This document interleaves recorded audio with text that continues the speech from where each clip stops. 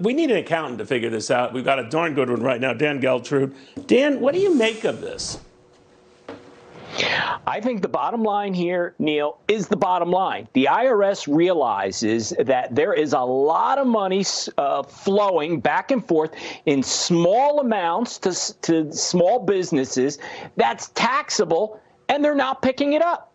So therefore, the IRS is saying, well, these businesses know they should be paying tax on it, and they're not. So how are we going to catch them? Well, we're going to lower uh, from what was, Neil, $20,000 plus 200 transactions a year, which would get reported on a 1099K. Now they're taking it down to $600. So what's going to happen is the IRS is going to use the matching of this 1099K to what is appearing on tax returns. And if they don't match up, the IRS is going to send you a tax bill. And small businesses don't like that. What about just regular individuals? I mean, these are not especially large transactions. So if you have a lot of them, are they going to be on their own 1099 form? How will that work out?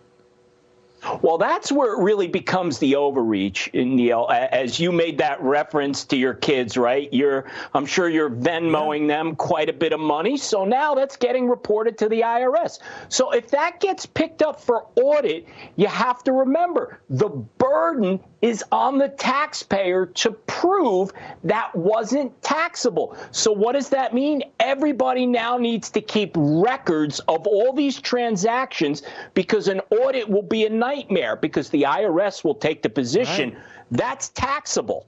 So now you have to prove it wasn't taxable. It was just to cover my late night pizza orders.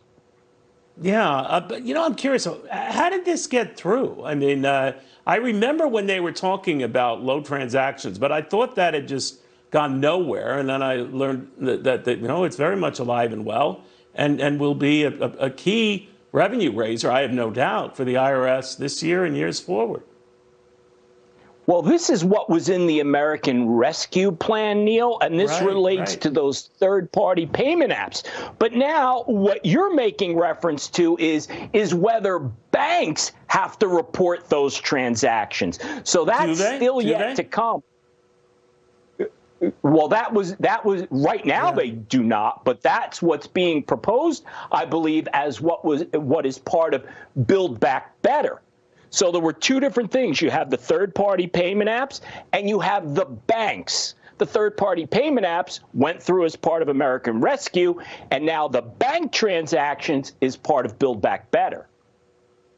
It's very clear to me that they are looking at this as a possible way to expand the pool of, of, of taxpayers who are going to pay more taxes. Uh, it, they might say that it's not for that, it's for, you know, looking for malfeasance and all of that, but this is a very easy way to do just that. Where could something like this go? I mean, I'm thinking of the alternative minimum tax, which was a way to go after the rich guys like you to avoid paying taxes, and then it grew to include what a third to half of all taxpayers today.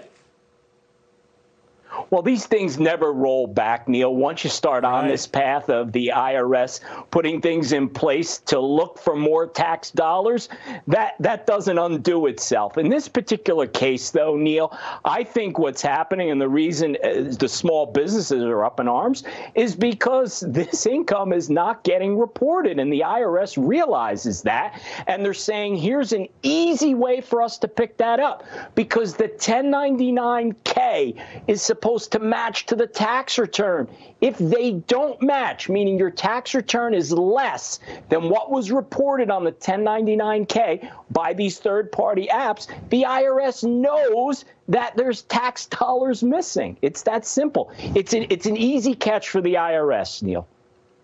Just amazing. All right, thank you, my friend. I think I understand this a little better, and I'm worried about it a lot more. Uh, and wait till you see how my son reacts when he realizes no more checks are coming. Uh, always good seeing you. Thank you very much, Dan Geltrude, on all of that. All right.